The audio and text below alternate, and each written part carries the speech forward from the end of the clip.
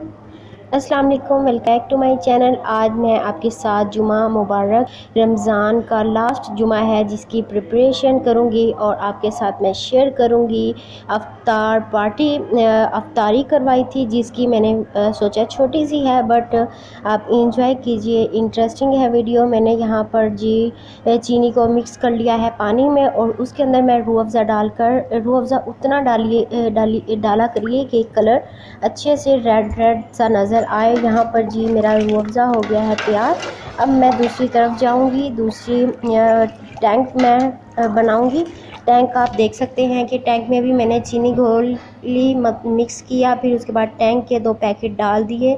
यहाँ पर मेरा टैंक भी तैयार हो चुका। और स्टेप बाय स्टेप पहले आप अपने जूस वगैरह बना कर रख ले। वो आसानी होती है, बर्फ़ बाद में आप डाल सकते हैं। तो जी, आप देख सकते हैं, मैंने इसको अच्छी तरह से मिक्स कर लिया और लास्ट में मैंने बर्फ़ डाल दी थी। यहाँ पर मैंने जी, पकौड़ियाँ पानी में डिप करके दिन में ही रख दी थी और जी, आलू कट किए, ये दही बल्लों का सामान है। यहाँ पर छोटे छोटे क्यूब्स में मैंने टमाटर, प्याज वगैरह कट कर लिए और जी दही बल्ले हो गए तैयार। दही में डालें और चाट मसाला डालें और हरी मिर्च, हरा धनिया जो भी आपको पसंद है वो आप डाल सकते हैं। यहाँ पर जी दही बल्ले भी तैयार हो चुके हैं। यहाँ और सालन भी बनाया था, उसकी मैं वीडियो डालना भूल गई थी। तो जी, इसके ऊपर लाइट लाइट सा आप गार्निश कर सकते हैं। चाट मसाले की यहाँ पर मैंने क्रीम ली है। क्रीम के अंदर शुगर को आपने ऐड करना है और उसको इससे मिक्स कर देना है, ठीक है? जो क्रीम चाट होती है वो बहुत ज़्यादा फीकी नहीं लगती, बहुत अच्छी बनती है इससे। ये वाली मैंने क्रीम के दो पैकेट यूज़ किए, यहाँ पर मैंने छोटे छोटे क्यूब्स में जस्ट ये दो ही फल मैंने यूज़ किए थे, इनको डाला और दैन मैंने उसके बाद इसे मिक्स कर दिया, चाट भी तैयार हो गई।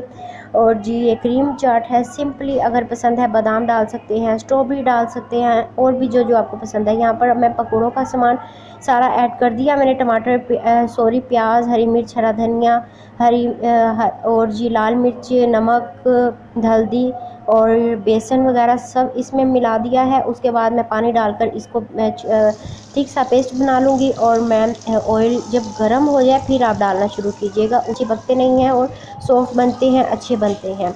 जी, पकोड़े भी तैयार हो चुके हैं क्योंकि पकौड़ों के बगैर तो मज़ा ही नहीं आता।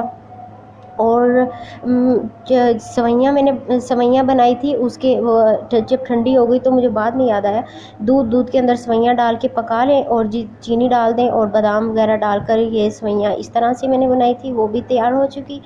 तो जी, ये थी आज की वीडियो और उम्मीद करती हूँ आप लोगों को पसंद आई होगी। मेरे पसंद आए तो लाइक सब्सक्राइब ज़रूर दीजिएगा। मैंने आपके साथ छोटी सी वीडियो में बहुत सारी रेसिपी शेयर कर दी हैं ताकि आप इंजॉय कीजिए और आपको डिटेल्स वगैरह सब समझ आ गई होगी। मैंने अच्छे से आपके साथ शेयर कर दी है, ठीक है? तो ये था जी प्रिपरेशन और जी बहुत अच्छे से सब कुछ हो गया। यहाँ पर रूअफ़े वाला दूध भी बनाया था। सारा कुछ बहुत अच्छे से हो गया था और जी आप सबको रमज़ान मुबारक हो। अपना ख्याल रखिएगा। अल्लाह हाफिज़।